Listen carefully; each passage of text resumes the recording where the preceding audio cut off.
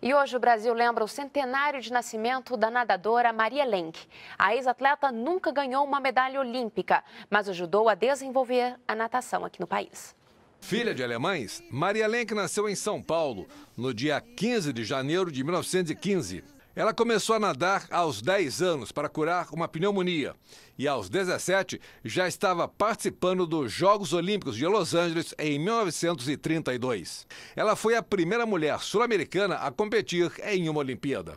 Maria Lenk foi campeã sul-americana dos 100 e 400 metros livres, dos 100 metros nado de costas e também dos 100 e 200 metros nado de peito.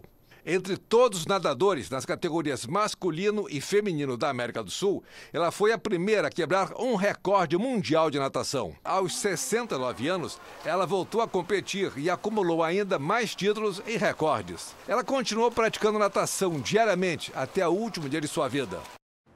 Maria Lenk morreu em 2007, aos 92 anos.